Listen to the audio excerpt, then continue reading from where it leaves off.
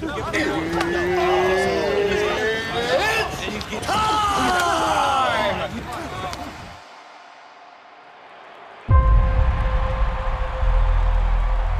a long time and it's um, a long journey. Learn those hard lessons. And that's what creates champions, when you turn up when no one else believes in you but yourself. A few years down the track, and I've gone on to get on a three fight win streak against the best guys in the world. When I'm in there, I've got to respect everything that I put into this. He's trying to take away everything that I want, and that's to be the world champion.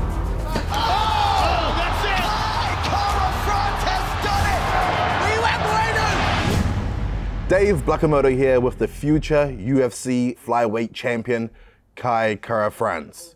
How are you, champ? Hey, I'm, I'm ready to go.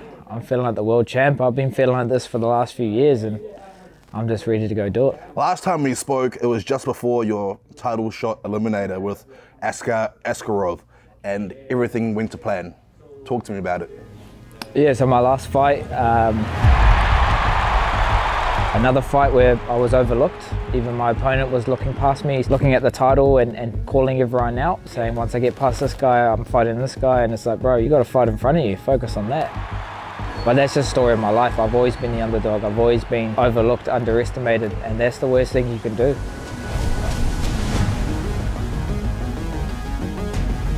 You know, fighting a Russian that's undefeated, never lost, and I went out there and out wrestled him neutralized everything, got out of sticky situations and then put it on him. And um, pretty unanimously um, won that fight. For the winner by unanimous decision, that, that's what it's all about to find the odds. When um, the pressure's on you, you just go out there and, and shine. Do you look back and, and, reflect a lot, not only on how far you've come, but how far the gym as a whole has come in the last five years? Yeah, definitely. It's it's it's important to reflect and, and look how far you've come, but that just sets you up for the next goal. So for 10 years, I wrote on my diary, make my UFC debut. For 10 years, I had to keep writing that. Every year, I had to rewrite that on the list because I couldn't tick it off. Until 2018, when I took that off, I just had to keep picking at it, keep chipping away at it, and eventually once I got my foot in the door in the UFC, it's, it's ironic, but now that's where the hard work starts because every fight you're fighting the best in the world. So, with that being said, what's prepared me is obviously this gym, City Kickboxing. This is a family. Eugene, what he's created, and the rest of the coaches he's brought on board, and the fight team that we have here, um, you just thrive in it. If you have the right attitude and you're just willing to work hard, you're going to be successful. I'm just a product of my environment and I'm surrounded by world champions day in and day out at the City Kickboxing. That's the pursuit I'm on.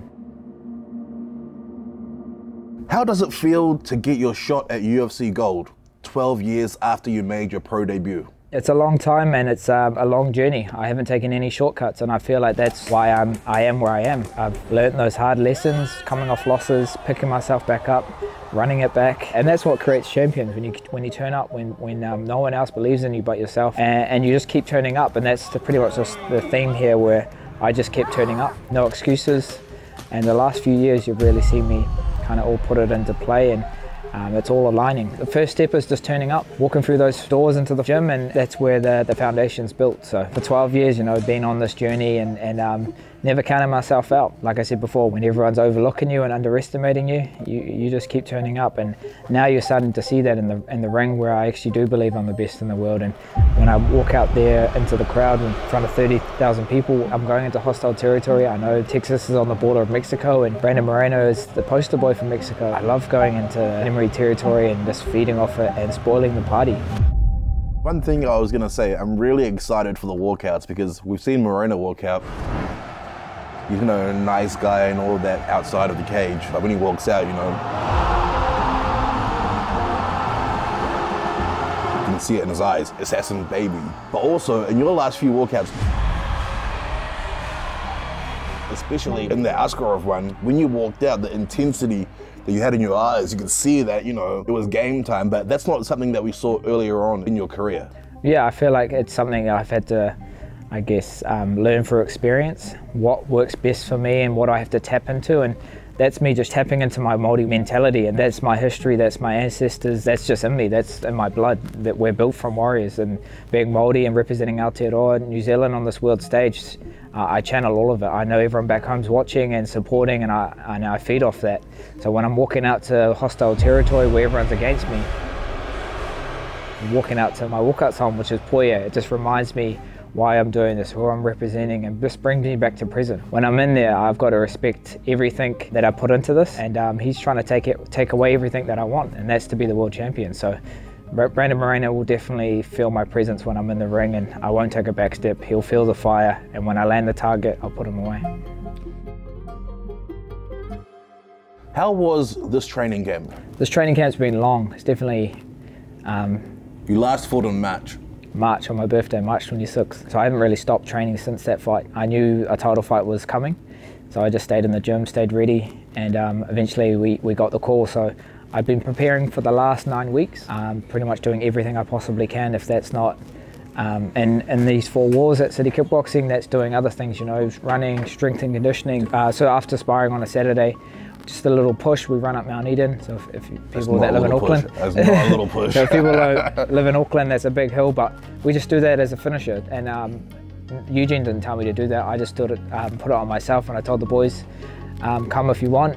I'm here to, um, you know, push myself and." If I can get an edge and, and um, tick all the boxes, and that's not just meaning training, that means recovery. You know, I don't go to sleep until I, I make sure I'm doing everything. You know, that means mobility, stretching, um, sauna, recovery, ice baths. That's when I go to bed, when everything's set up for the next day. So You were talking about uh, your recovery and how seriously you take that as well. When you train, do you also monitor your data, like your vitals, heart rate, oxygen saturation? Are you like a real science guy too, and you like to track it, let's say, 12 weeks out, eight weeks out, and you look at that data, data and you adjust? Yeah, definitely. I, I have What do you use? my heart rate monitor. I just use a Polar Polar Beat on my app. So I send that information to Geordie, my nutritionist. I send it to Makoto, who's another um, strength and conditioning coach, as well as Suns, uh, my my own strength and conditioning coaches, and they collectively see what I'm doing, the output, see what I'm putting back into my body, and then we're just trying to uh, maximize it. We're trying to get to that 1% better. I just feel like I'm on another level and you're just evolving with the sport, you know, and you've got to keep adapting, keep adding new things and um, yeah, keep pushing. And, and it's not about just taking away from what you're doing, it's about putting back into it, which means like, how are you sleeping? If you can sleep better, what can you do before bed? Um, what you're putting into your body, and that's not just nutrition wise, that means mentally, like, what are you reading? Are you um, are you feeding yourself the right uh, the right things you know ma- manifesting? I, I trust the process. I know um, what we're doing in the gym um, breeds champions and um, like I said before I don't take any shortcuts. So when it's fight week my weight's good right now. Um, so I, I made sure I came and dialed in for this fight. Um, and Geordie will be over there in, in Dallas with us. So normal routine for us. Um, we know what works and we know the system. So yeah, it's just about fine tuning. I bought myself a suit. So for the press conference, you know, I want to look good, feel good. I want to make sure I'm coming in feeling like the world champ and that's what I'm doing. So my family will be over there. I know I have a lot of support back home. Obviously I'm documenting this whole trip as well and it's awesome that TVNZ are, um, are behind this and my friend Crystal's um, the producer. So it's cool doing all these little things outside of the actual fight camp and then I've just dropped my own clothing line as well with you know, um, with my brand KKF, which is my initials. I'm into clothing and you know, it is an extension of your personality. So the response has been really positive, saying, oh, the material is so nice and premium and just feels luxury. And that's what we were going for. We didn't want to be another fightwear shirt or supporter tee. You know, we wanted to get away from that and have something that you would wear all year round, not just on fight week to support your um, favorite fighter. So, you know, this is life after fighting what we're doing now. And it's all about setting yourself up. So, you know, obviously the world, the world title was the priority. Being a UFC fighter, being a UFC world champion is um, what I'm here to do, but obviously you, you need to diversify um, your other options as well. This is the second rematch of your career. I believe it's the first at this level of, of competition. How many times have you rewatched the first fight? I don't really go back and um, wa- Watch watch, watch too much of my film. Obviously, I have watched it a few times. You know, I'm not the same guy that last fought Brandon Moreno. This was 2019 we last fought. This was at T-Mobile in the early prelims. Like there was probably 5,000 people, if that, in the crowd, because no one really comes to the prelims. This fight is three rounds in the UFC flyweight division. There's a lot of positives I can take away from that. I did find my targets early. Beautiful right hand by Kara-France. We definitely won that first round. I dropped him twice. Moreno with a nice high kick block by Kara-France. Yeah, he did well to adjust. Second round, you know, started kicking my arms and, and taking away that power. Kara-France just doesn't have the pop that he had in that first. And then third round, he edged the decision. It was a close fight.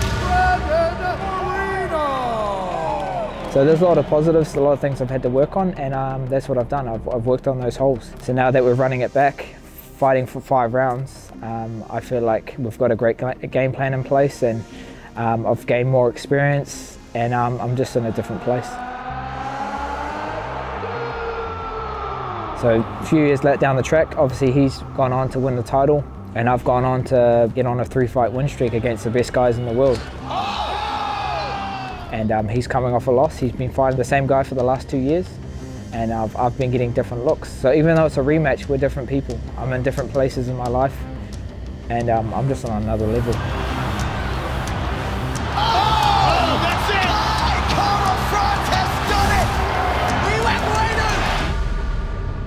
After having that first close fight with Moreno and watching him go on to become a champion, was that just more affirmation and confidence for you, knowing that you know that guy's a champion? I was this close to beating him. Yeah, exactly. That that's um, definitely what I was thinking.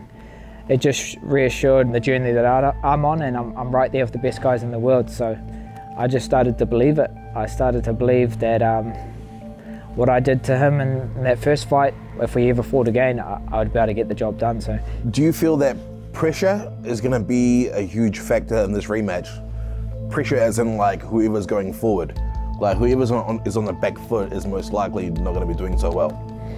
Yeah, definitely. Um, I feel like he's going to put the pace, try put the pace on me, um, but I'm going to meet him in the middle. I'm going to do a Max Holloway point to the ground and then see if he's going to oblige. I'm not taking a back step, and um, if he wants to um, swing, then so be it. I'll turn this into a dogfight. I feel like this fight, will, we will mix it up, and I'll, I'll, I'll welcome it. I want him to try wrestle me. I want him to try get me to the ground um, I welcome it as well. I'll, I'll try um, get him to the ground and out scramble him. I just showed it in my last fight. I can out scramble these wrestlers, these um, grapplers. So um, yeah, I'm not I'm not too worried. And obviously I've, I've been training hard, and I feel like who wants it more will be the deciding factor. He doesn't want it more than I do. How does it feel? Feels like uh, it's destiny. That's what it feels like. Ten week fight camp, ten year fight camp. Born for this. Have you done much visualization on the whole moment, you know, the walkout, the weigh-ins or? Yeah, definitely. I, I visualize it all the time. Um, me walking up to the scale, then looking across to Brandon and then doing a pukana right in his face and making him feel my presence.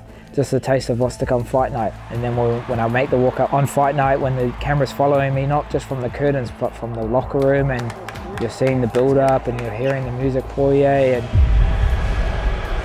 I can just feel everyone back home watching and supporting me and I'm just channeling all that energy from my ancestors, my tūpuna, and um, he'll feel that once I get in there and he realizes that this isn't the same Kai that fought in 2019.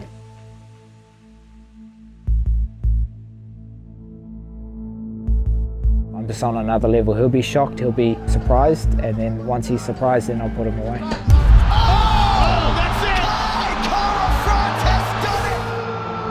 when it's all said and done, no one can deny me that I, am the best and I'm just going to go out there and just put on a show, put on a clinic and, and um, bring this world title back home.